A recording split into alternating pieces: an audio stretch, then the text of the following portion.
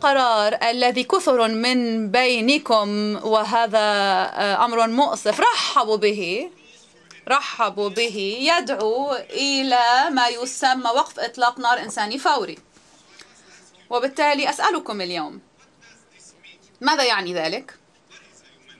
ماذا يعني وقف إنساني فوري للناس؟ هل هو ست ساعات حتى آه، يدخل المياه والغذاء إلى غزة؟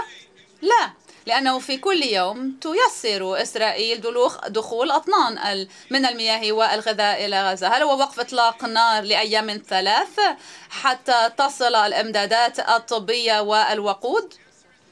الجواب هو لا فالشاحنات المحملة بهذه الإمدادات تدخل غزة بتيسير من إسرائيل في كل يوم ماذا عن وقف إطلاق النار لأسبوع من أجل إجلاء المدنيين الجرحى؟ لا فهذا يحصل كذلك في الميدان مع مستشفيات ميدانية وكذلك سفن ومستشفيات جوالة تيسر إسرائيل كل هذه الجهود إذا أسألكم ماذا يعني وقف إطلاق النار الإنساني هذا؟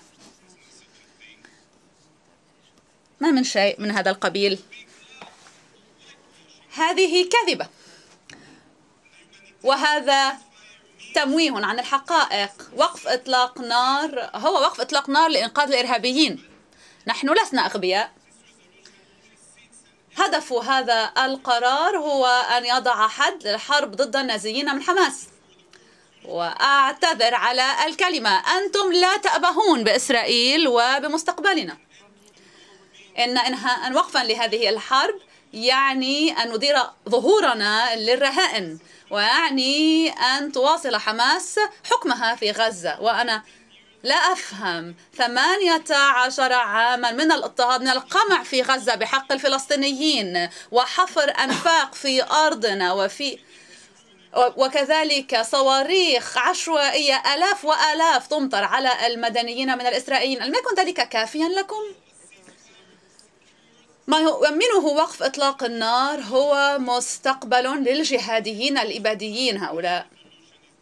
ما يدافع عنه القرار وحماس فقط. لا تخبئوا نواياكم خلف ستراتكم الدبلوماسية وكلماتكم. وقف إطلاق نار إنساني. هذا القرار هو أجندة مشوهة. على الأقل وضحوا ذلك ليكون ذلك واضحا للدول الأعضاء جميعها. هدف هذا القرار هو أن تبقي حماس في السلطة. نقطة على السطر. ولأولئك الذين ربما قد نسوا دعوني أذكركم أذكركم من هم هؤلاء الإرهابيين المتوحشين لأنكم ربما كان بإمكانكم أن تقولوا شيئا آخر في القرار ربما أن تدعوهم إلى أن يسلموا أنفسهم أو يطلقوا سراح الرهائن. عندها كانت الحرب تنتهي غدا صباحا. حما... لدى حماس اليوم 132 من الرهائن في غزة.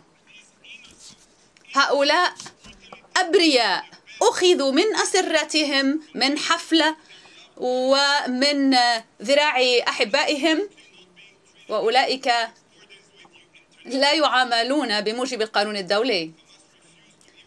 رفضت حماس حتى أن تسبح على الصليب الأحمر بأن يزور هؤلاء. هذه الجريمة الأخطر وهذه الجمعية حتى غير قادرة على أن تذكر حماس بالاسم. هذا جبن.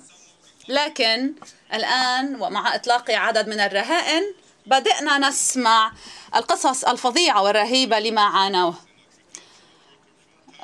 مزارع تايلاندي من الرهائن قال إن الرهائن الإسرائيليين كانوا يعذبون بالكابلات الكهربائية. إيتاي رجيب 18 عاما. قص أنه بعد أن أخذ رهينة أجريت عليه عملية من دون تخدير وأخته مايا التي أصيبت في آه، رجلها قبل أن تخطف. وكان العظم قد انكسر. أعيد تركيبه